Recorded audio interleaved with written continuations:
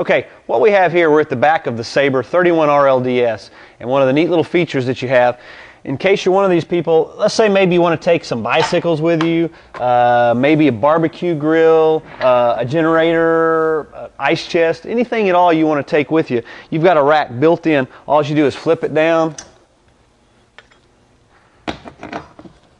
just pops in like that and you're ready to go. Um, even got a little stand on here you can pop out and put on there. But that's to take any of the extra things that you might want to take along with you that you don't want to put inside the coach itself and maybe you don't have room in the back of your vehicle.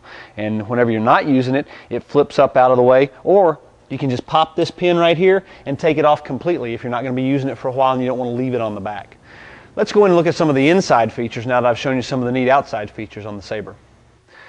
We're inside the Palomino Sabre 31 RLDS. It's a double slide travel trailer, which is pretty rare to have double slides in a living room in a travel trailer. The nice thing about that is, is that's where you spend most of your time, is in the living room. If you're going to be going camping, you're going to be either outside or if it's raining or the weather's bad and when you get back in the evening, you're going to be in the living area. You're not going to be staying in the bedroom the whole time. But you've got your two uh, rocker chairs in the slide out on this side. You've got nice big windows all the way around, uh, out the back and on the sides. You've got a nice uh, couch over here, and this is an air mattress couch. So whenever you get ready to make it down for visitors, you just pull it around, pull the legs out, flip it on down, and inflate it. It's real easy to do. Plus, you got storage both beneath it and some above it. So if you do have other people coming with you, you've got a place for them. Now, the nice feature about it, and some of you may have already asked by now by looking at the floor plan, where's the TV? Well, when you've got the view and you want to see outside, you have it like this. Then when you want to watch a little TV, let's say that football game's coming on, you just punch the button and up she comes. That's the nice thing about the LCD TVs. They allowed the manufacturers a lot more flexibility in where and how they placed the TVs. You couldn't have done this a few years ago with the old tube TVs because the depth was too much and I guarantee it would have burned out that motor on some of the size and the weights of some of the tube TVs. Um, I want to call your attention to the entertainment system over here. Most Forest River products will have a DVD player built in with an AM FM stereo, CD player, DVD player, and weather band radio. Um, all that's built in. Now, you also, off here to this side, let me turn that off so you don't have the humming noise, you'll notice they've got game slots. If you have kids and they want to take their Xbox or their PlayStation, you can plug it in right there. Um, your cable, your uh, for your satellite box, plugs in right there. And let's say you had an MP3 player, you want to play it through the surround sound system, you can do that. You can plug it in right here. Or let's say you're going on a uh, on a trip and you're going to take lots of pictures, you want to plug your uh, your video camera in there and watch them on there, you just plug it in right here. Makes it real easy. Then notice off here you've got an iPod uh, dock so that you can plug your iPod in there and play it through the surround sound as well. A lot of neat electronic features in the in the Forest River products. One thing you're going to notice about this is a residential style and residential quality. You're going to have upgraded fabrics, you're going to have upgraded uh, features like the carpet. When you walk through, and I know it's hard because you're watching on a video, but this carpet is really padded um, with an extra layer of padding and uh, it's more of a residential style carpet.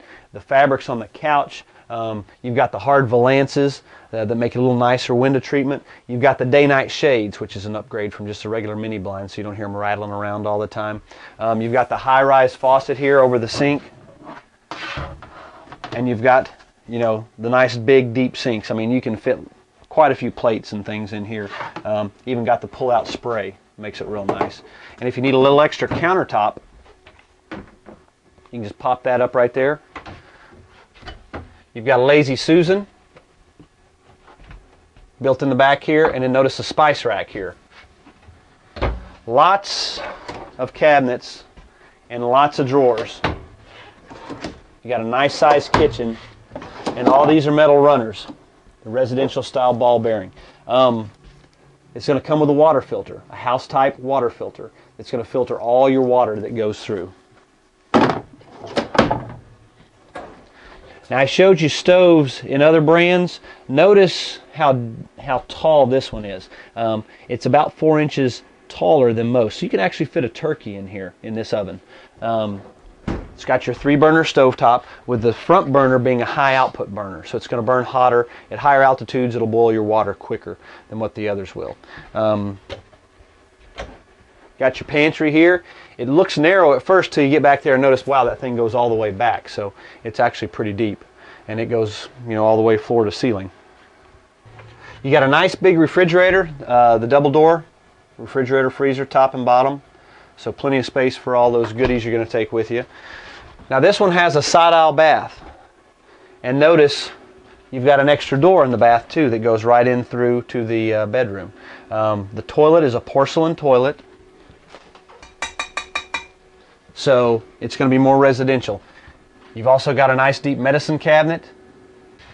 And one of the really nice things is that corner shower. Now I'm 6'3", but I have no problem standing up in here if I was going to take a shower, wash my hair, do whatever. Plenty of room to turn around and plenty of height so that I'm not having to squat down to wash my hair. You've also got a fantastic fan up over the toilet. So if you get a lot of moisture in here when you're taking a hot shower, you can flip that on. It works like an attic fan and it's going to suck the moisture right out. Also works really good on a, on a day that's cool and you don't want to have the air conditioner on but you want to circulate some air. Um, you can turn that on, leave your windows open, it'll do a really nice job. You got a nice door going into the bedroom, a solid door. A lot of coaches are going to have the little accordion doors and nobody likes the accordion door. Um, but you've got a solid door here going into the bedroom. Plus, you have a solid door, the slider door going into the bathroom. So you got a lot of privacy in this coach. Um, if you do have somebody sleeping in the back on the on the air mattress, they're going to have plenty of privacy, and you're not going to be waking each other up if one of you's a snore. Hey, you got plenty of plenty of doors to close off there. Notice the TV. Um, a lot of coaches are not given a good spot for a TV that you can watch when you're laying in bed. This one does. And then you've also got storage under the bed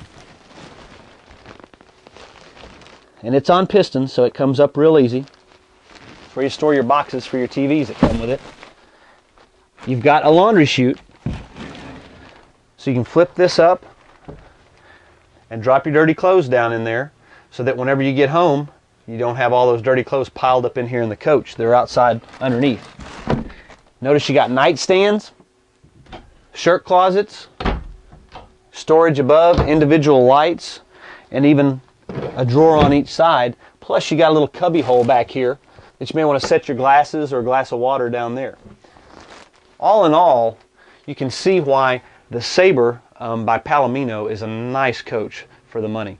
Um, we've got these as well as many other hundreds of other different floor plans and different styles. If you need a two bedroom, we've got two bedrooms. You need bath and a half, we've got all of them.